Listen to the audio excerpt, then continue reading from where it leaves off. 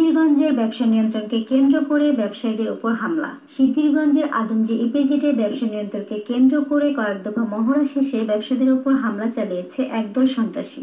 এতে ছয়জন ব্যবসায়ী আহত হয়েছে। শনিবার দুপুর একটায় ঘটনাটি ঘটে সিদ্ধিরগঞ্জের আদমজি ইপিজেটের পাশে কদমতলী পুল এলাকায়।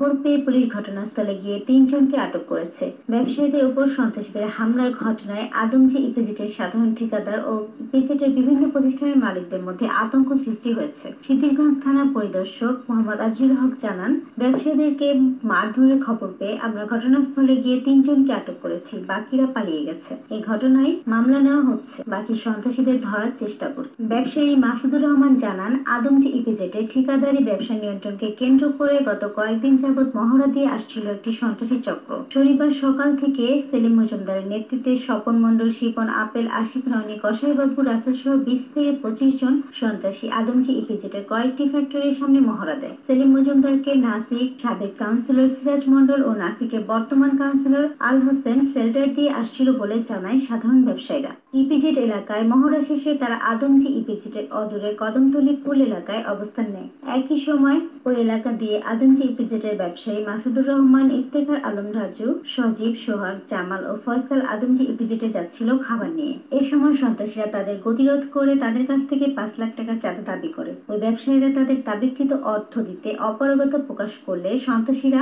তাদের উপর হামলা চালায়। সন্ত্রাসীদের উপর্যুপরি হামলায় ব্যবসায়ীরা মারাত্মক আহত হয়। খবর পেয়ে সিদ্ধিরগঞ্জ থানা পুলিশ ঘটনাস্থলে গেলে সন্ত্রাসীরা পালিয়ে যায়। তবে এ সময় পুলিশ শিপন, আপেল ও আশিক নামে তিনজনকে আটক করতে সক্ষম হয়। পুলিশ আহত ঠিকাদারদের উদ্ধার করে স্থানীয় ক্লিনিকে ভর্তি করে। প্রধানমন্ত্রী শেখ হাসিনা ও নারায়ণগঞ্জ চার আসনের সংসদ সদস্য শাইম ওসমানের ছবি বিকৃত করে ফেসবুকে আপলোড করায় দুই সালের তিন আগস্ট সেলিম মজুমদারের বিরুদ্ধে আইসিটি আইনে মামলা হয়েছিল। তাছাড়া তার বিরুদ্ধে দশটি মামলা রয়েছে।